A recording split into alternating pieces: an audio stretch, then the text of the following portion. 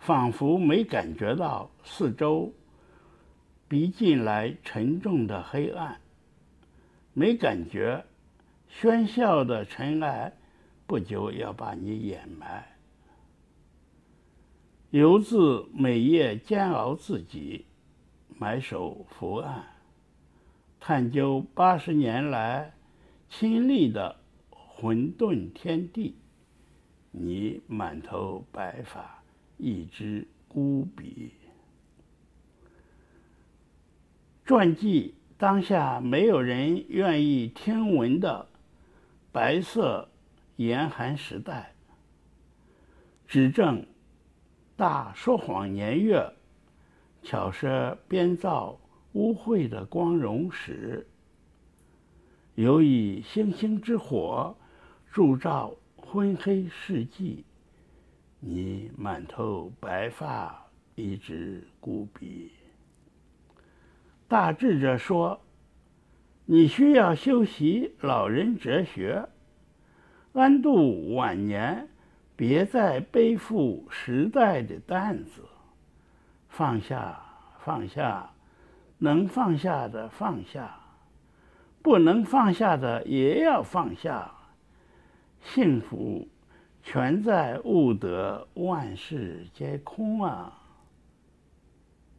硬木长得慢，到老逐渐成材。一圈圈年轮。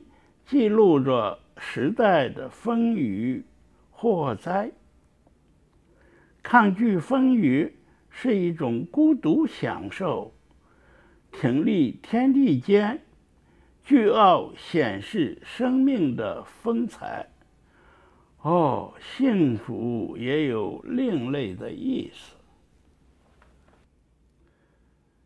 光明街还是很光明，虽然逐渐老去。在很旧的新店乡野间窝了很多年，五米宽，六七百米长，像一大段盲肠。这段盲肠，赞，钻进去，哪怕一辈子不出来。人生的食衣住行、吃喝玩乐齐全，还有美容业、古董行、接生婆、棺材店。一活又一活，寻梦的脚总爱渡来。嗅嗅古老情味，看看东，看看西。没关系，生意做成做不成，欢迎来喝茶聊天。没关系，买东西没带钱，先把东西拿回去。这些都是老街的老规矩，店家笑脸迎着顾客、老人、小孩、狗狗、猫咪。中国人爱吃，饮食店、路边摊，家家火爆。说得出说不出名堂的小吃，要啥有啥。苏哥有大碗。吃得过瘾，莫过阿婆的米粉汤。阿婆带领憨厚的大儿子、俏丽的越南小媳妇、七八岁男孩，一家四口的战斗小组。苏哥有趣，话中有情，走路有风。走进阿婆的米粉汤店。不知有多舒坦。小屋子，小桌五六，坐满了发光的脸。国语、台语、客家话、原住民话自然融合大会串。有时比手画脚，爽的后，大家乐。